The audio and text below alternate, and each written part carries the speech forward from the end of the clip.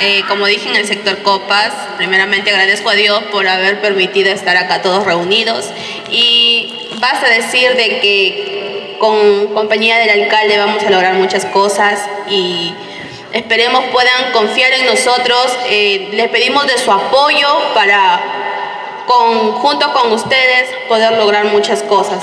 Porque como dijo Rosario, John Vargas lo que dice lo cumple. No nos miente.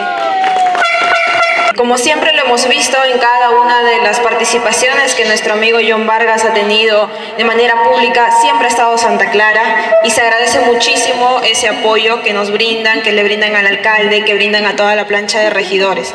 En cada una de las presentaciones siempre han estado presentes, todo el grupo. Eh, les agradezco de corazón el voto de confianza que nos dan, que dan al alcalde, que dan a toda la plancha de regidores. Como lo dijo Lía, el alcalde es una persona que promete y que cumple. Eso es lo que necesitamos. No necesitamos que nos vengan a decir más promesas, más promesas que no se puedan cumplir. Planes de gobierno, planes de municipalidades que no se puedan eh, llevar a cabo simplemente porque no son viables. Nosotros aquí tenemos a una persona que nos va a representar, que va a luchar por lo que nosotros necesitamos, que va a luchar por nuestros derechos y que principalmente va a luchar porque Santa Clara merezca, tenga lo que merece. Basta de la centralización, los anexos también necesitan ser escuchados. Gracias. Algo diferente en su centro poblado. Estamos aquí con nuestro amigo el profesor Lucio Acuña, que es uno de los casagrandinos de respeto que respaldan este trabajo que queremos hacer por Casa Grande, por Santa Clara y por todo el distrito. Cada día, estimados vecinos de Santa Clara, cada día nos sentimos más fortalecidos en nuestro propósito de trabajar por salud, por educación, por mejores carreteras, por mejores espacios deportivos. Porque cada día que visitamos los pueblos, cada día que visitamos los anexos, cada día que visitamos las urbanizaciones o los asentamientos humanos de Casa Grande, cada día escuchamos la queja de la población, su desesperanza en las autoridades que pasaron. Y ahí está nuestro compromiso incólume de servicio, de entrega, de vocación, de ponerle alma, corazón y vida a la gestión que yo estoy seguro vamos a empezar el 1 de enero del 2023. ¡Bravo!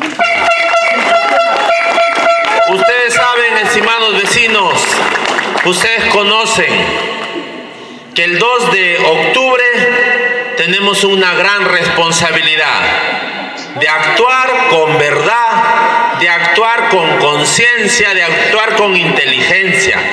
Ese día nos vamos a levantar, vamos a pedirle a Dios nos dé todo un día, domingo 2 de octubre, de bendición. Y lo vamos a tener, esa bendición la vamos a tener en la medida que actuemos bien que vayamos a la cámara secreta ese día y ahí solos actuemos con justicia y verdad. Con justicia para que usted tenga todo lo que necesita una persona, una familia, una comunidad para desarrollarse, progresar. Ahí va a tener usted la oportunidad de ser el juez de esas malas autoridades que han gobernado que han sumido en el atraso a Casa Grande, a Santa Clara y a muchos lugares de este distrito azucarero. Por eso, pensemos, hay que abrir nuestros ojos y ver todos los candidatos que vengan por acá.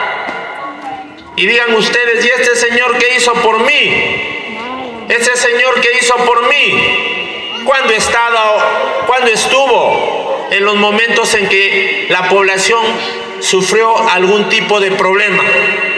Si en pandemia recorrió estas calles, si en el fenómeno del niño vino por acá, si es una persona entregada a la población, porque ustedes entiendan que para hacer política hay que ser gente de servicio, de entrega, de apoyar, de ayudar. Y en ese aspecto, ustedes vean la lista de Nueva Libertad.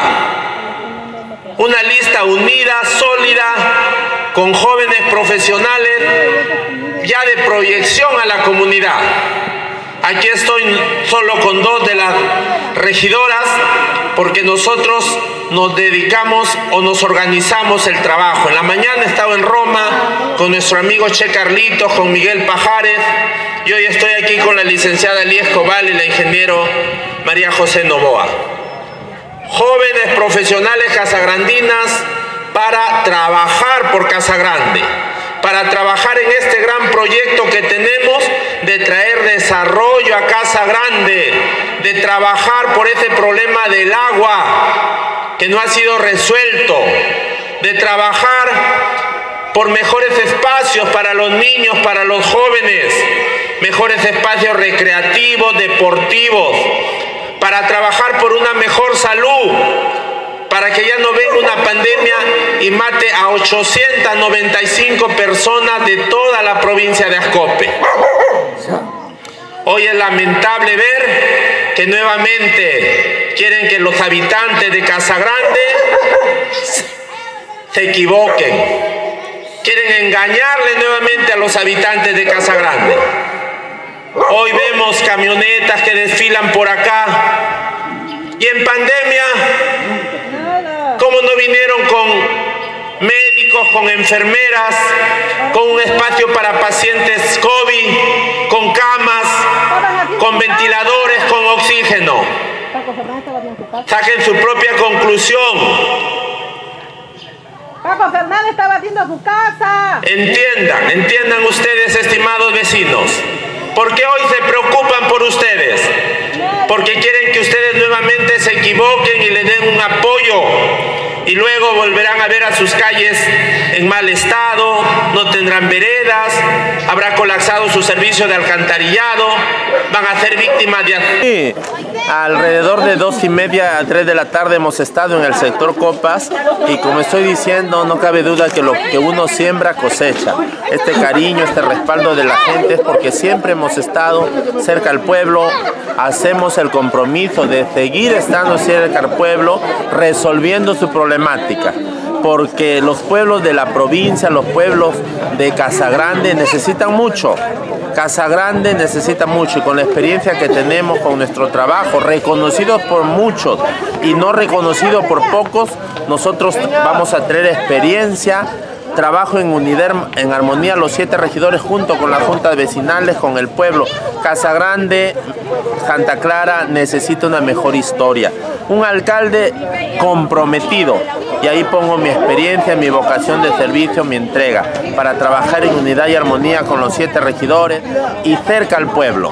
¿Cuál es la propuesta para este sitio, para este sector? Para este sector es hacer las gestiones, hacer el expediente para un asfaltado de su carretera, porque ya es momento, muchos años, que sufre la población el mal estado de la carretera como he estado hace unos meses, y es algo lo que se ha podido hacer, pero lo principal, lo que quiere una comunidad es que tenga buena carretera de ingreso para que haya comodidad.